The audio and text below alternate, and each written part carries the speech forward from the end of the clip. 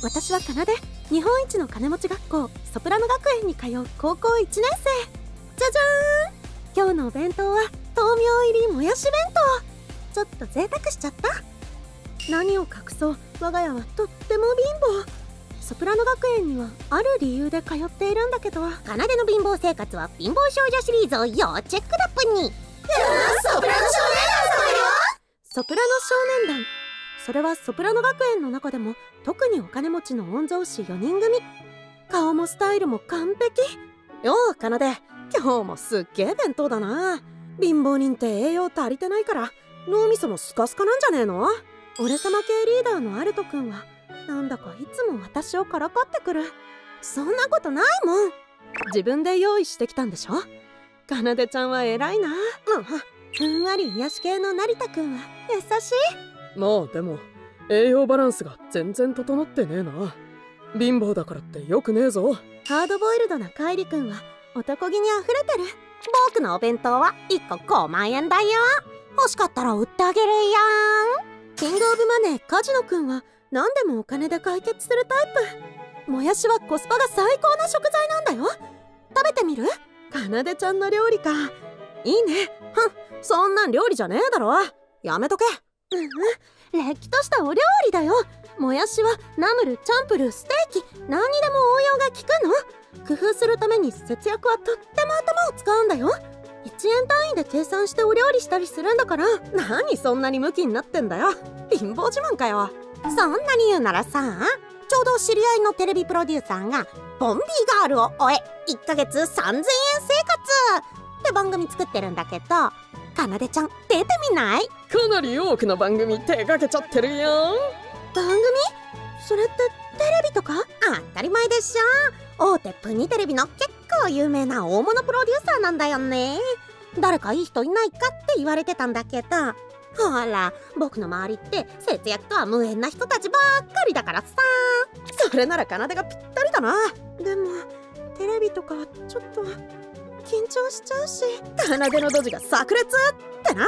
面白くなりそうだな。え？ー、カイリ君まで？やっぱりせっかくだけどバイトもあるし。今回は？えー、本当に？もったいないと思うけどな。企画としては毎回3000円を番組からもらってそれで1ヶ月生活してみるって内容なんだよね。だから3000円がもらえるってことなんだよ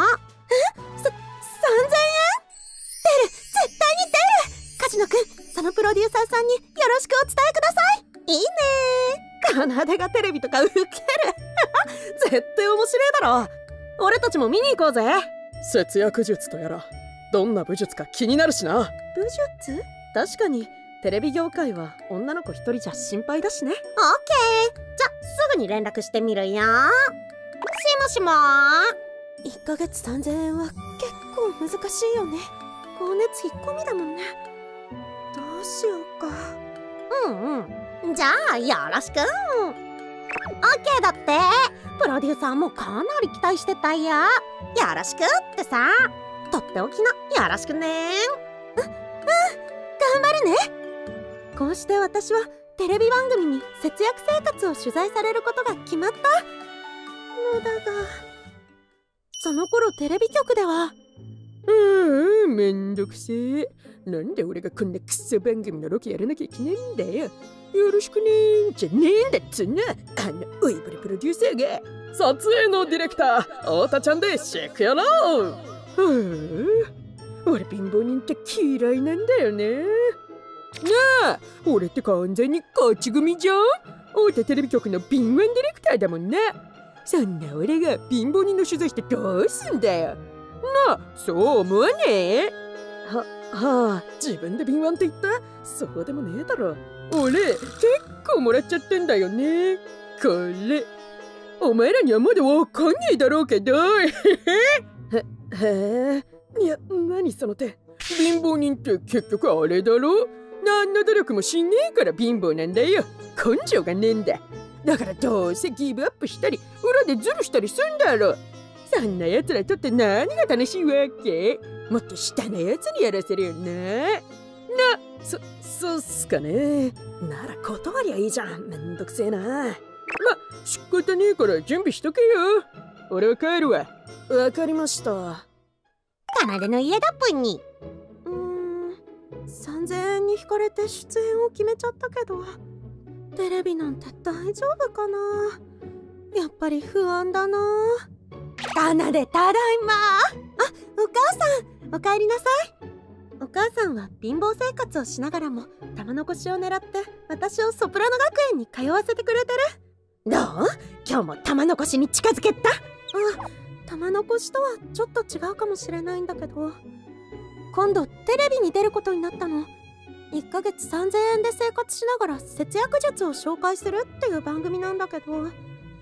やっぱり緊張しちゃって。テレビに出るってこと？うん。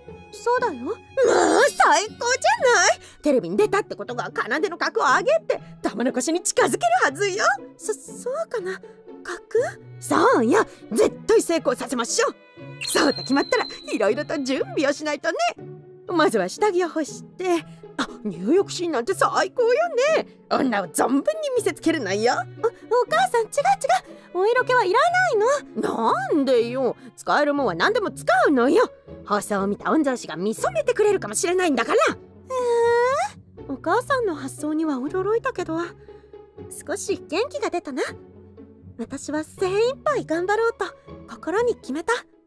その頃ソプラノ少年団はかなでちゃんの取材の日楽しみだね。あ勉強になることがあるかもしれないな。3000円もらえるって聞いた時の顔見たか？一気に顔色変わったよね。あれだけのことであそこまでモチベが上げられるのはある意味すごいな。でもかなでちゃんがテレビに出たら人気が出ちゃったりして。んなわけ。貧乏の神ってか？いや可愛いスタイルいいってどこぞの社長が見初めたりしたら一気になびきそうだよね。かなでちゃんって。あそこまで貧乏だった。どうだろうね。ああんなことあるわけ。お嫁行きます。なくもないのか？そうしてそれぞれの思いを抱えたまま取材初日を迎えた。ほらさっさと準備しろよ。こんな最悪な家に何時間もいられっかよ。さっさと終わらせて帰ってやる。あのよろしくお願いします。準備も万端どっからでもかかってこい。気合がすごいぷんに。相変わらずすんげえ家だな。え？これって物置？いや犬小屋だろ。家だよ。ああの靴脱いでください。ああ？こんな汚ねえ家裸足で歩けるかよ。そ掃除はしっかりしてあります。あっそう。とにかく薪で取ってくからどんどん紹介して。ちょっとムカつくけど今はそれどころじゃないよね早速ですがまずはこちらです。お風呂にはペットボトルを浮かして水道代の節約をしてます。これだけで水道代は半分で済みます。ああ全然ゆっくり入れなそう。ありきたりだな。そこまですげえことじゃない。えいや次はさっさとして。じゃあこちらへ。今またなんか嫌な感じじゃなかった？うん。すんまんね。豆苗を大切に育ててるんです。もやしだけだとどうしても彩りが気になるのでこうして何度も再利用しています。もやしって？もやしが主食ってこと基本的には。彩りって。もっと他んとこ気にしろよ。今何か言いましたよね別にいいだろう何でも。これで終わり。なら今日は終了ってことで。まだまだいっぱいあります玉残しのためにいっぱいアピールしないと。うんもういいんだけど。こちらです。冷蔵庫。電気代節約のためにスーパーで大量の氷をもらってきて冷やしています。まず冷やすっても何も入ってないじゃん。確かにな。これは冷蔵庫の中の食材を余すことなくしっかり使い切ることも節約術の一つです。食ったらねえなくだらない。はいじゃあこれでいいね。また来週。次はスーパーに買い物行くとこ取るから。もう？まだ紹介したいことがあるのに。もう十分。いらないの。貧乏談義なんてつまんねえんだよ。おいさっきからいい加減にしろよ。取材させてもらってんのにその態度はねえんじゃねえか。うん？き黙ってろよ。かガキがふっつはいはい。それじゃあまた来週なんかすごい態度だったね。ああ。よし来週はもっとすごいところをアピールしないと。次の週今度はスーパーでの買い物？じゃ買い物していきますね。はいはいどうぞ。はあつまんねえな。なんか面白くなんねえかな。あそうだ。今日はあのクソガキもいなそうだし。あれで行くか。おいあれでこうだからむふふふって えいいんですかね？わわかりました。今日はすっごくラッキーでトマトが1個10円でした。あれ？カメラなんか下すぎない？あお野菜が美味しく見えるからかな。お次はなんとパンの耳も無料で配ってくれてました。今日はなんかついてますね。えー、こんなに下から？もしかしてどこ撮ってるんですか？近すぎます。面白いもん撮ってるに決まってんだろ？貧乏人は黙って言われたことやってろよ。テレビのノウハウもわかんねえくせに。へえとんだ撮影してんな。上に抗議してもいいんだぜ。ちょっと遅れちまったけど来てみてよかったぜ。アルト君。ちょいいところに現れやがって。もう終わったとこだよ。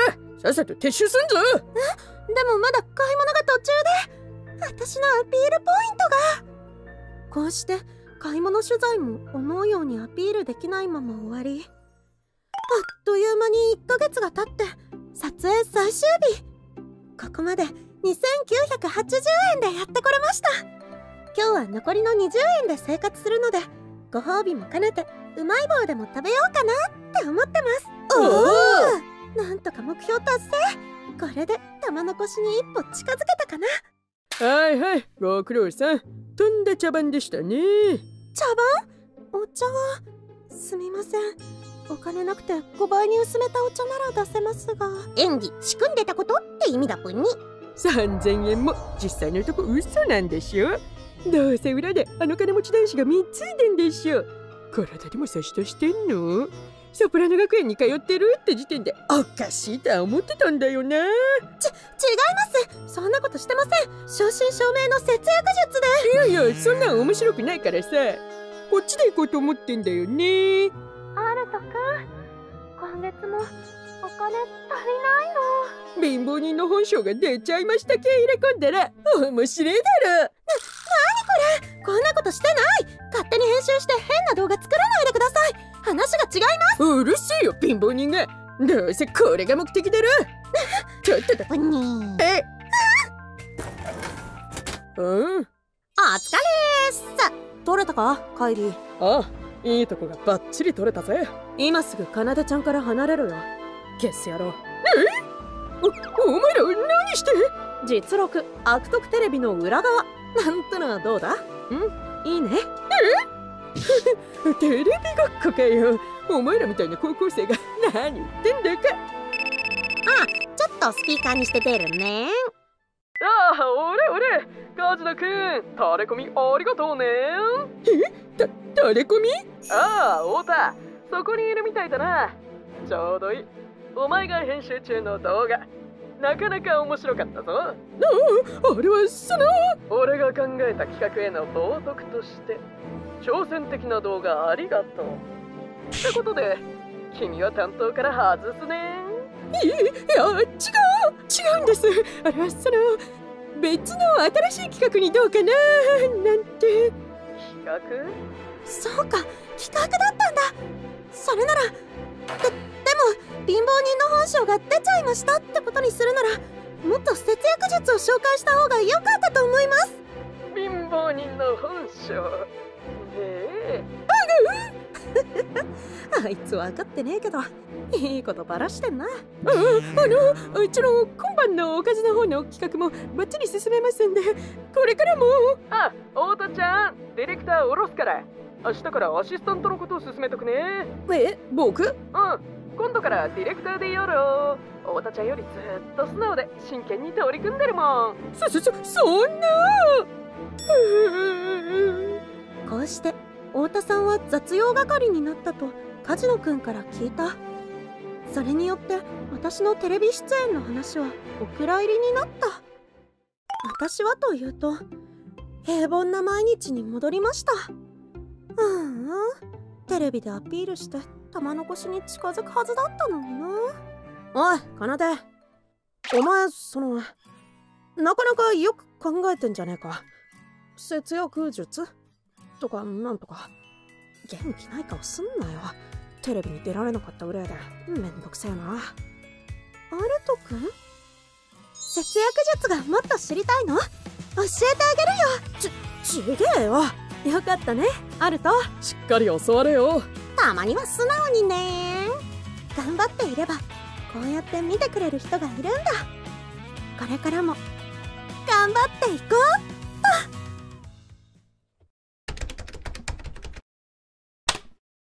なでです。アルトです。動画を最後まで見てくれてどうもありがとう。